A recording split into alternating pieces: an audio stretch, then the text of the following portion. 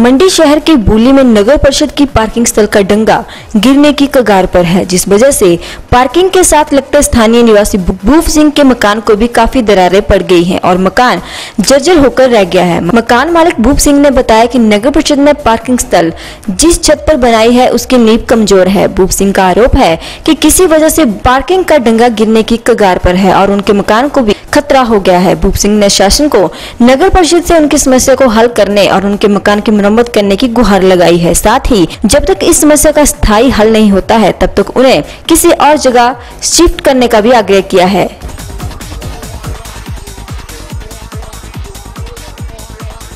अखिल भारतीय विद्यार्थी परिषद रामपुर इकाई ने छात्रों की विभिन्न मांगों को लेकर 24 घंटे का सांकेतिक भूख हड़ताल की। इस दौरान छात्रों ने सरकार के खिलाफ खूब नारेबाजी भी की। उनका कहना था कि रामपुर कॉलेज प्रबंधन का रवैया नकारात्मक रहा है। वे छात्रों की समस्याएँ सुलझाने की बजाय उल्टे छात्रों को अपमानित करने का प्रयास कर रहे हैं। उन्होंने बताया कि स्थानीय कॉलेज की समस्याओं और मांगों को लेकर प्राचार्य का घेराव किया जाएगा। उन्होंने कहा कि रामपुर में छात्रों की भूख हड़ताल को अखिल भारतीय विद्यार्थी परिषद संगठन मंत्री दिखिन ठाकुर द्वारा जूस पिलाकर समाप्त की गई।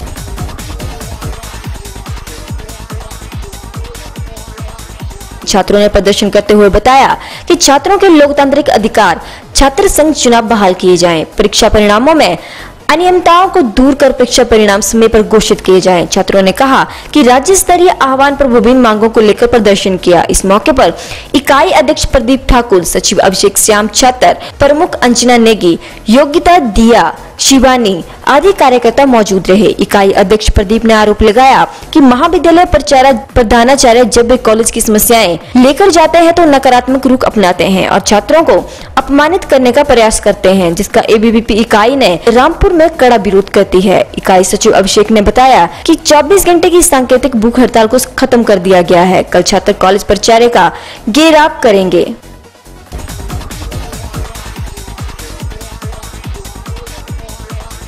शिमला जिला के रामपुर में 19 वर्ष के कम आयु वर्ग के छात्रों की जिला स्तरीय खेल प्रतियोगिताएँ आज से शुरू हैं, जिसमें 14 खंडों के 670 खिलाड़ी हिस्सा ले रहे हैं। जिला स्तरीय इस खेल प्रतियोगिता में volleyball, kabaddi kho kho badminton, yoga, table tennis एवं कुश्ती प्रमुख होंगे। इसके अलावा सांस्कृतिक प्रतियोगिता भी होगी। चार दिनों तक चलने वाले इस खेल प्रतियोगिता का विधिवत शुभारंभ भाजपा प्रदेश कार्य समिति सदस्य श्याम लाल गुप्ता ने किया। समारोह का शुभारंभ छात्रों ने शानदार मार्च पास से किया। इस दौरान मेजबान स्कूल के छात्रों ने योग के कर्तव्य से सबका ध्यान आकर्षित किया। इस दौरान मुख्य अतिथि श्यामलाल गुप्ता ने बताया कि खेलों का छात्र जीवन में विशेष महत्व रहता है। इसमें आदमी चुस्त, दुरुस्त और तंदुरुस्त रहता है। इसके अलावा छात्र दूसरी कृतियों में जाने से बच जाता है। उन्होंने छात्रों से अपील की कि मादक पदार्थ एवं नशे का प्रयोग न करें। इससे जीवन अंधकार में हो जाता है।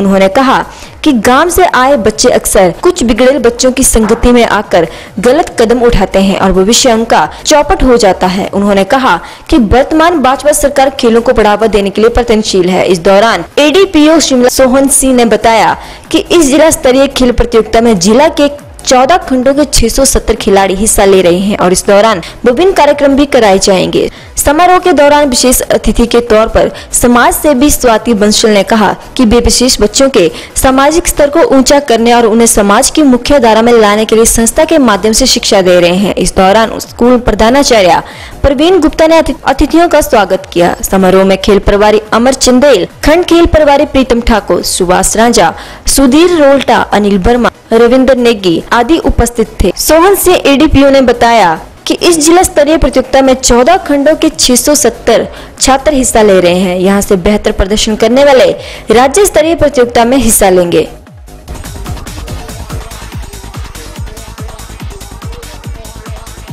परवाणु में नशा निवारण केंद्र में एक व्यक्ति नशा छुड़ाने के लिए भर्ती हुआ, लेकिन उसकी जान चली गई। मृतक के परिजनों ने इसकी शिकायत पुलिस को और पुलिस ने नशा निवारण केंद्र के खिलाफ मामला दर्ज कर लिया है। मिली जानकारी के अनुसार, मृतक कुलविंदर सिंह नशे का आदि था, जिसके चलते परिजनों ने उसे आठ दिन पहले परवाणु के नशा निवारण केंद्र में डाला था, लेकिन कुछ दिन बाद उन्हें सूचना मिली की कुलविंदर की तबीयत खराब हो गई है और उसे चंडीगढ़ इलाज के लिए ले जाया जा रहा है। वह चंडीगढ़ के सरकारी अस्पताल पहुँचे तो उसे चिकित्सकों ने मृत घोषित कर दिया।